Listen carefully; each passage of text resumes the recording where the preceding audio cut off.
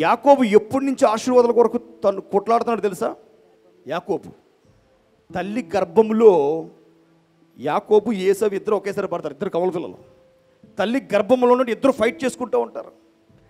చూసి తల్లి ఏసాకు చెప్తుంది ఇదిగో నా గర్భంలో కుమారులు ఇద్దరు కొట్టుకుంటున్నారు ఇద్దరు కొలిసి ఎందుకురా కొట్టేద్దరు యాకోబు ఏసాకు ఏసావునంటే నాకు ఆశీర్వాదం రావాలి. కలిగి నేను ప్రథమ స్థానంలో పుట్టాలి. ఎందుకు పుట్టాలంట? నేను ప్రథముడిగా పుట్టాలి. ఈయన ముందెళ్ళిపోదాం అనుకున్నాడు నువ్వు రారా వెనక్కి? నేను ముందుకు వెళ్తా అంటే ఆహా రావట్లే. ఎవరు?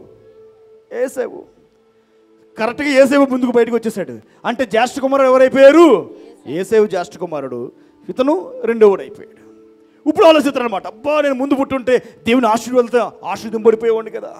నా బిడ్డలు ఆశ్రదింపడిపోయేవారు కదా. నా రాజ్యం ఆశ్రదింపడిపోయేది కదా. అబ్రహం ఆశీర్వాదాలు నా మీద ఉండేవి కదా. ఇప్పుడు ఎలాగా?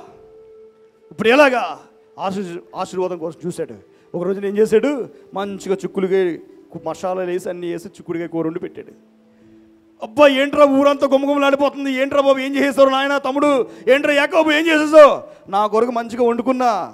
ఎక్కడెక్కడి నుంచి తీసుకొచ్చి మొత్తం ప్రపంచంలో దొరికే మసాలాలు ఇందులో ఉన్నాయి. ఇది తింటావు ఇప్పుడు అంటే ఒరే ఆగ్రా బాబు నాకు ఎవరా అదేదో నేను తింటా అంటే నేను తెచ్చుకుని నీకెత్తే నాకు నాకేటి లాభం?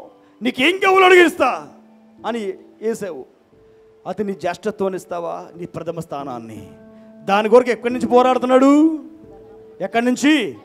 కడుపులో ఉన్నప్పటి నుంచి పోరాడుతున్నాడు. ఎందుకు? ఆశీర్వాదం లేకుండా ఒక్క గడి అయినా ఉండకూడదు. ఈ ఆశీర్వాదం కొరకు నువ్వేం చేయాలి తెలుసా? పోరాడాలి.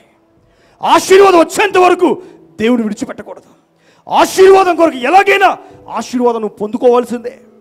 ఆమె ఆమె చెప్పండి. ఆశీర్వాదం పొందుకుందునుగాక.